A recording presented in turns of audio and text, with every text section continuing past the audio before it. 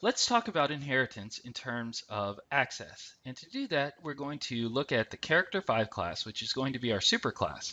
It's going to have two instance variables, level and name, and it's going to have a constructor, which is going to initialize the two instance variables.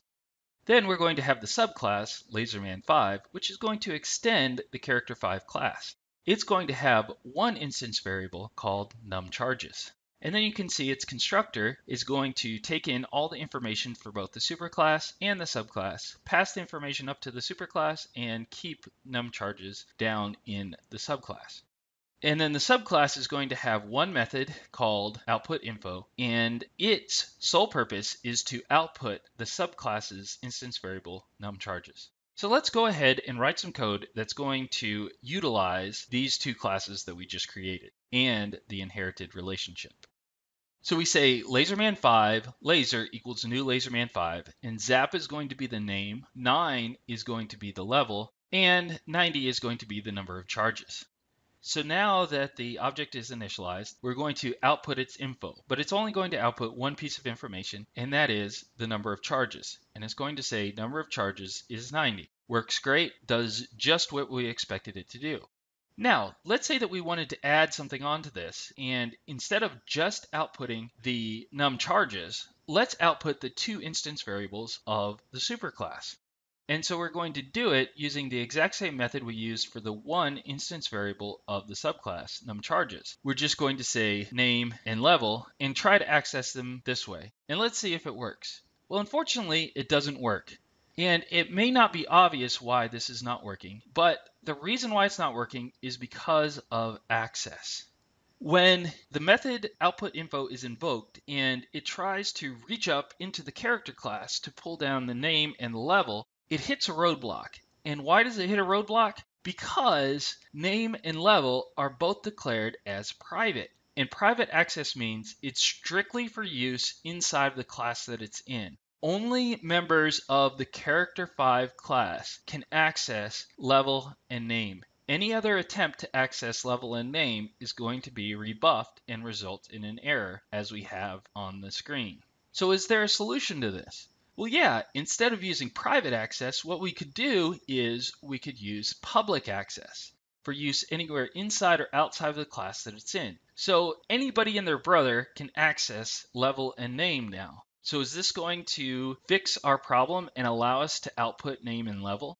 Well, yes, yes it is, because name and level now have access outside of the class, which is public, and so Laserman 5 can access them and we would get name, zap, level 9, number of charges 90. But the problem is, is that public is too much access for us because not only can the subclass access the information, so too can any class that's trying to access level and name. And so you can see right here, we're directly accessing level and name from a class that's not even in the super sub relationship that character 5 and Laserman 5 have.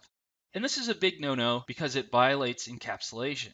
Is there a solution to this? Well, yes, we actually have a third type of access that we haven't needed up to this point, but now we can use because we're using inheritance. And that is called protected access. So we have protected int level and protected string name. You could probably guess what it's going to do. It's going to grant access inside of the class that it's in and also any subclasses that want to access it it erects that barrier, but subclasses can go behind that barrier and access the information. So now it would output as we would want it to. Name is zap, level is 9, number of charges is 90. But if someone wanted to access outside of the class and it wasn't in that super subclass inheritance relationship, it would run into the roadblock and give us an error. And that error would be a good error because we don't want access except for members of the subclass. Is there another way around this instead of saying protected? Well, yes, yes, there is. And that is adding getters and setters, or in this case, we're just using accessor methods, which are getter methods. And so you can see down here in the output info, instead of using the names of the instance variables from the superclass, I'm just using methods and I can directly access them and it's going to give me the information just that I want. Zap, level 9, and 90. And that way I don't have to worry about access in terms of private, protected, or public. I can keep my instance variables private, but yet I can grant access outside of the class by creating getters. And if I want even more access to be granted, I could create setters or mutator methods like set name or set level. So putting it all together, access with inheritance just adds one more level. We're familiar with public access, where everyone can access an instance variable, whether it's inside of the class, outside of the class, etc.